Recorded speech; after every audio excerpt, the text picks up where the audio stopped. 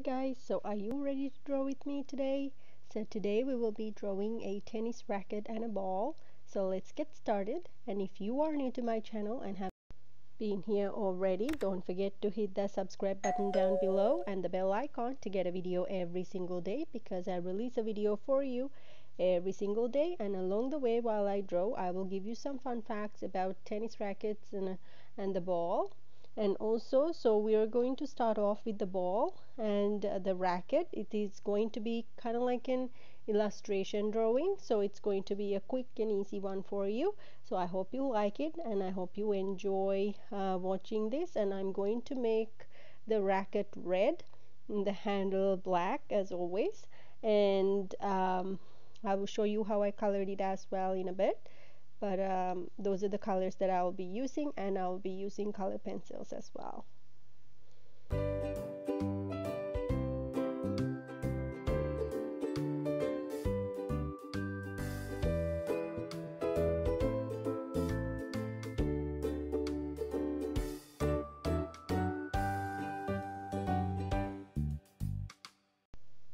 So to give you some fun facts today, I will be using the website bethq.com and uh, it has uh, 20 interesting facts about tennis rackets. So um, apparently the wooden rackets used until 1965 weighed an average of 350 grams. Um, and some of them were about half a kilogram as well so 500 grams as well. But uh, today's ones are around 250 so they are very light compared to the olden day uh, tennis rackets. So you can see now on the drawing I'm drawing the net area so you can use a ruler if you want to make it even and make the line straight. I just um, was freehanding it but however uh, it'll be it'll look much nicer if you use the ruler uh, for your drawing if you choose to draw this with me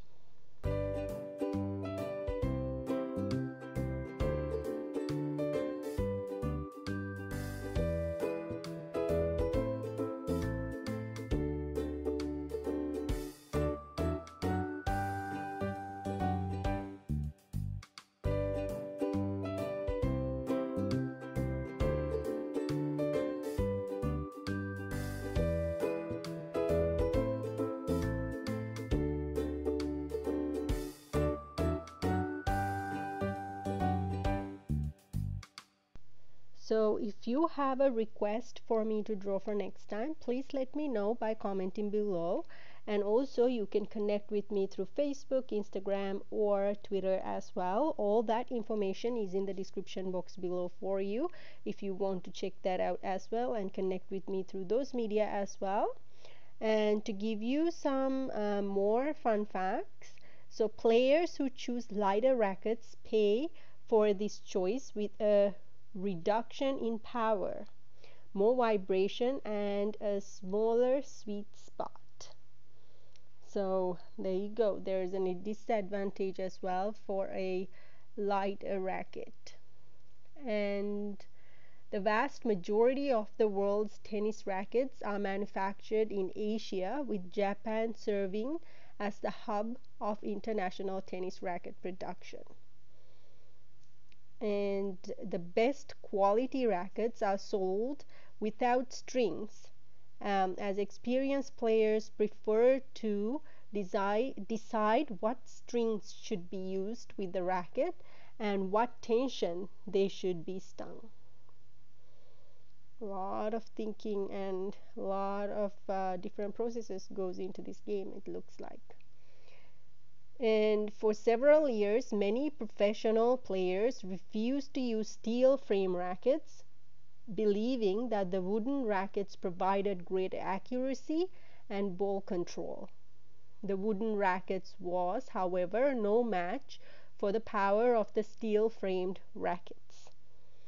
So now that I gave you some uh, fun facts as well, we are going into coloring now. We did the drawing part. So for the ball, you can add that little detail on the tennis ball uh, with the sharpie or the pencil whichever you are using or you can do it with your color pencils as well.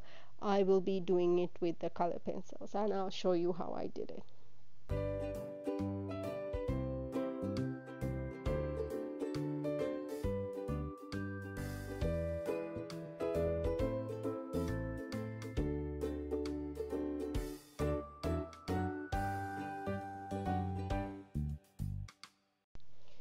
so you can see I used red for the racket and for the strings you can either use blue color uh, because some strings are transparent so or I used brown just to give it like a nice look.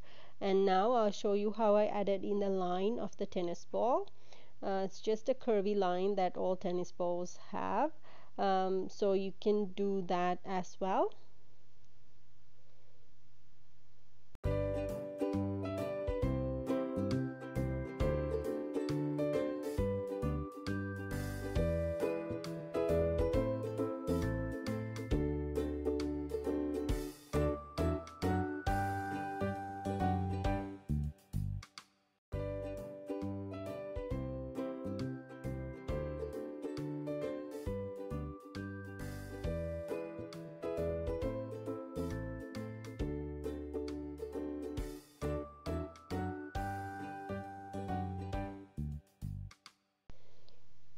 so and for the ball colors I used a little bit of yellow green and yellow. And the line of the tennis ball I drew it with a blue color pencil. And now I'm just making it prominent um, so it shows better. So basically this is all there's to it. It's very easy um, to draw and very easy illustration if you want to draw it as well. And for the handle I used black and shortly I will show you how the full color drawing looks like as well.